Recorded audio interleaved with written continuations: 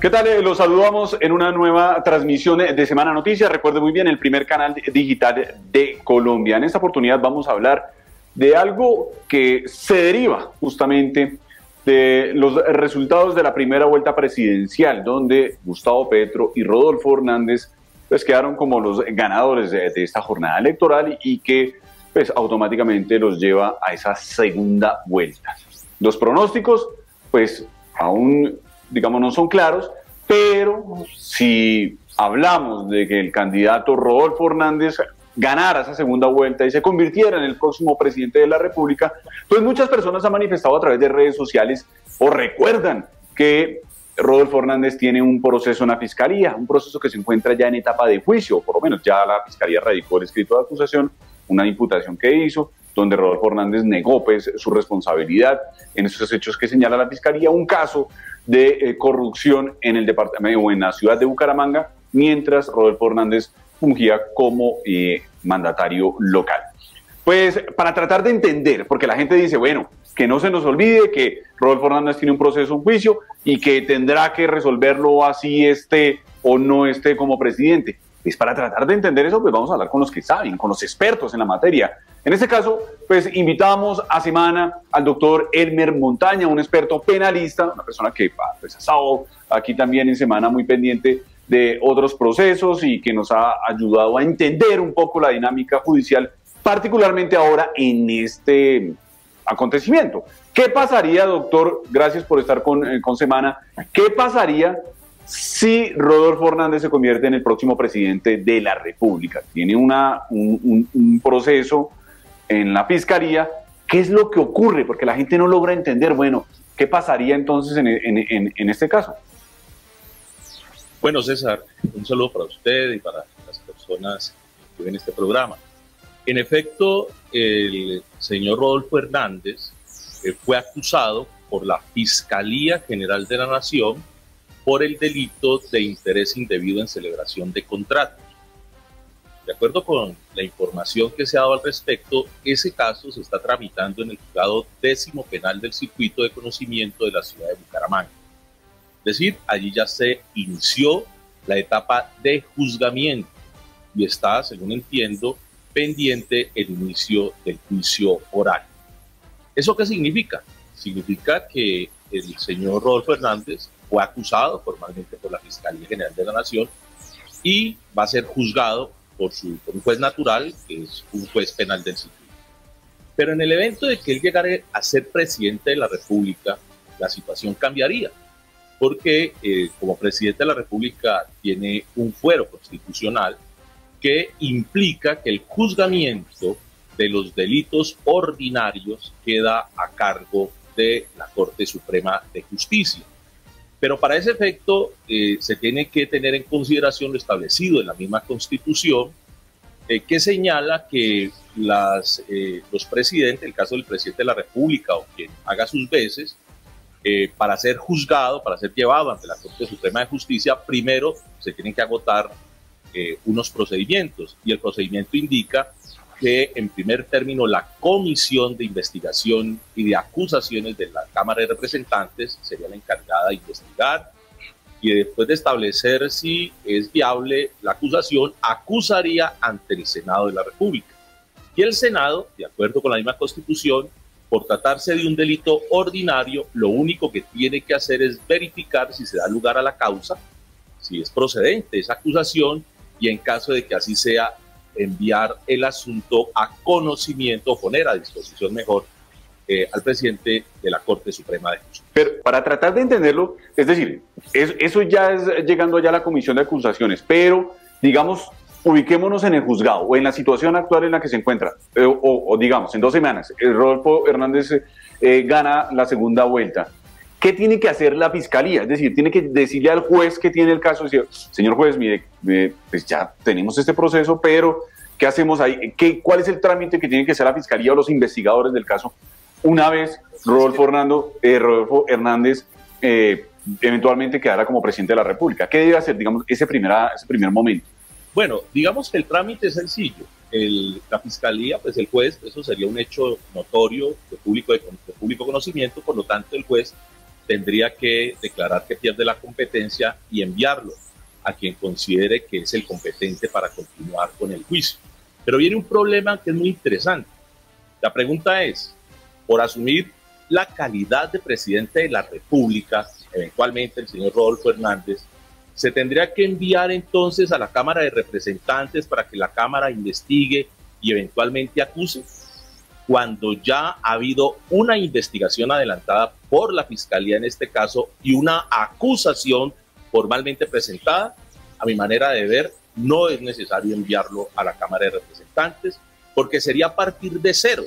Y el fuero no indica que lo que se haya investigado que se, se, pierda, se deseche, lo que se cambia es la competencia del juzgador. Ahora, eh, aquí mutatis mutandis ocurriría más o menos lo que pasó con el caso de Álvaro Uribe, pero al revés. Recuerden ustedes que cuando Álvaro Uribe sale de la Corte Suprema de Justicia y pasa el caso a la Fiscalía General de la Nación, sus abogados dijeron que ahí no solamente se perdía la competencia o adquiría competencia un nuevo juez, sino que todo lo investigado se perdía y que, había que arrancar de cero.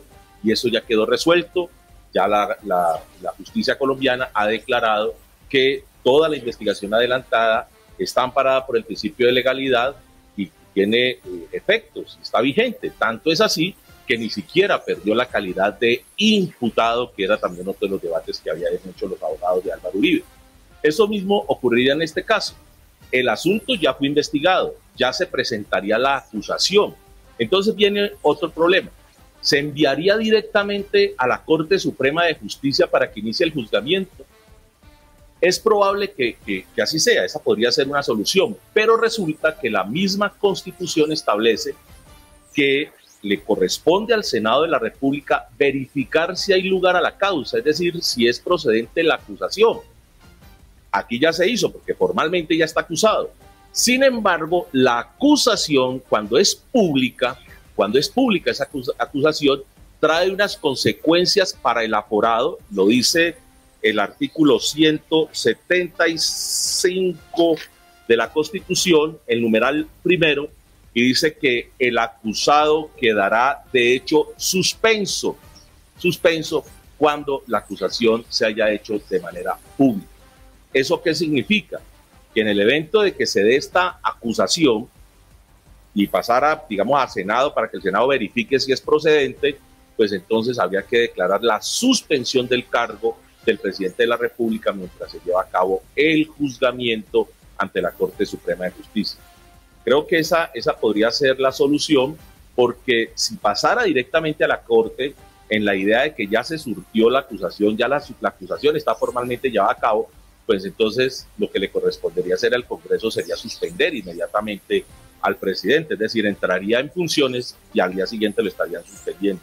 Y creo que ese, eso generaría un problema eh, jurídico eh, realmente eh, de unas enormes proporciones. Pero sea lo que sea, el caso no tiene por qué ir a la Cámara de Representantes para que la Cámara inicie nuevamente la investigación, porque esa investigación ya se llevó. Pero quién, pero quién está en relación con la acusación. Pero ¿quién resuelve eso finalmente, doctor? Porque, digamos, seguramente la defensa de, de Rodolfo Hernández va a decir, no, pues la fiscalía tiene que informar que se pierde competencia, que la fiscalía pierde competencia, que los jueces del circuito pierden competencia y que eso tendría entonces que dirigirse a, digamos, al, competente para investigar al presidente de la República bueno, para adelantar todo el trámite. Y van a pedir que claramente se vaya para la comisión de acusaciones. Usted nos explica algo muy importante y es que como el proceso ya se encuentra en etapa de juicio públicamente, pues tendría que arrancar desde ese momento. Es decir, más o menos lo que ocurrió, y nos ha dicho usted muy bien, con el caso del expresidente Uribe que se equiparó la indagatoria con la imputación de cargos y de ahí arrancó pues el proceso para lo que de ahí en adelante pues quisiera hacer la fiscalía, que pues en algún momento estábamos hablando de la preclusión o, o, en este caso eh, incluso se plantea la acusación. Pero para, para Rodolfo Hernández, entonces, ¿quién, ¿quién define si se va para la comisión de acusaciones o está en, ese, en esa etapa del Senado donde podrían suspenderlo del cargo? Eh, pues si, si tomaran esa decisión, ¿quién define a qué, a qué escenario se va? Yo creo que esto va a plantear un problema interesante. Ahí le corresponde al Senado de la República establecer eh, cuál es el procedimiento a seguir, fundamento en la ley. No es la misma, no sería la misma Cámara de Representantes la encargada de tomar esa decisión. Eh, pero vuelvo y repito, partiendo de un hecho objetivo y claro, ya la investigación por el delito de interés indebido en celebración de contratos en contra del señor Rodolfo Hernández se llevó a cabo. Está amparada por el principio de legalidad. Se surgió ya esa etapa procesal. Eh, lo que sucedería a continuación es que, como ya fue acusado, el problema radicaría en el hecho de si el Senado de la República tendría que darle el visto bueno a esa acusación, verificar si es procedente para tramitarlo a la, a la Corte o eso saltaría directamente a la Corte Suprema de Justicia. Yo pienso que tendría que ir el asunto a conocimiento del Senado, en el entendido de que ya la investigación se hizo, de que ya hay una acusación formalmente presentada cuando el señor era eh, un ciudadano común y corriente, en el evento pues, de que llegara a ser presidente de la República, y en ese evento le tocaría al Senado de la República cumplir con lo establecido en la Constitución, verificar si esa acusación realmente es procedente y enviarla a la Corte Suprema de Justicia, caso en el cual vuelvo y repito, tendría que suspender de las funciones al presidente de la República mientras se lleva a cabo el juicio ante la Corte. Bueno, y, usted, y digamos que ya llevándolo al escenario de la realidad, eh, ¿qué tanto futuro ve usted en que eso realmente pueda ocurrir? Es decir, que la Fiscalía diga perdimos competencia, que pues tendrá que hacerlo, porque pues, la Fiscalía no podrá tener un proceso en, sus manos de un, de un, presidente de la República, y menos un juez del circuito pero ya en el... Es que ahí es donde creo que las personas dicen, bueno, pues ahí hay unas enormes dudas, porque es que realmente, ¿quién va a definir si realmente se va para la comisión de acusaciones? ¿Quién se va para, para el Senado? El Senado no va a decir, pásemelo, pásemelo, y, y empiezo a estudiarlo. Seguramente, digamos, llevado a la realidad va a ser muy difícil. César, esa decisión no le corresponde a la Fiscalía, porque realmente en este momento el órgano competente del juzgamiento es la Judicatura, es el juez de la República sería el juez décimo penal del circuito de Bucaramanga el que, que tendría que tomar la decisión eh, a dónde enviar el proceso. Y a partir de allí, pues se va a generar, por supuesto, un debate que va a ser muy interesante. Eh, si el juez considera que esa investigación ya se surgió, pues están parados por el principio de legalidad, como ocurrió en el caso de Uribe, que no puede arrancar de cero el proceso porque no tendría ninguna razón para que eso arrancara de cero, pues tendría que enviarlo, pienso yo, al Senado de la República para que el Senado le dé el trámite correspondiente de acuerdo con la Constitución Política, eh, verifique si da lugar realmente a esa acusación, porque esa es una es simplemente establecer que se cumplan los requisitos de ley para que se lleve a cabo la acusación y enviarlo, poner a disposición al presidente de la Corte Suprema de Justicia. Ahora usted me pregunta, ¿eso qué tan posible es? Mire, eh, la Corte ya ha dicho, sobre todo la Corte Constitucional, que el fuero no es un privilegio, ni es una garantía de impunidad para los servidores, a los altos servidores del Estado, incluyendo el presidente de la República. Nosotros no hemos tenido en la historia de este país a un presidente que lo haya juzgado a la Corte Suprema de Justicia.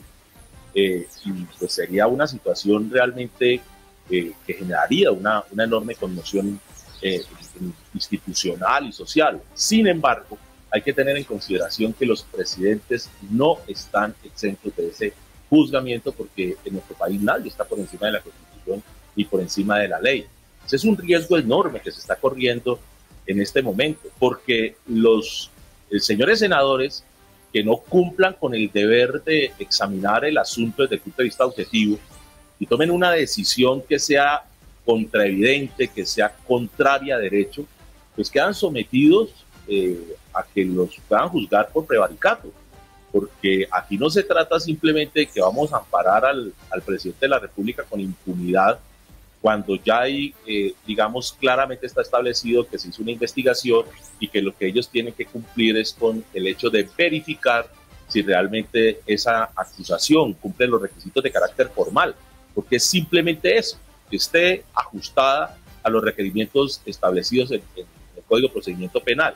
Si lo está, la única solución que tienen ellos es enviar el asunto a la Corte Suprema de Justicia, porque los senadores no tienen que hacer ninguna valoración probatoria, no tienen que entrar a estudiar el meollo del asunto, el fondo del problema, ellos no van a entrar a discutir si en efecto el señor Rodolfo Hernández incurrió ese delito o no.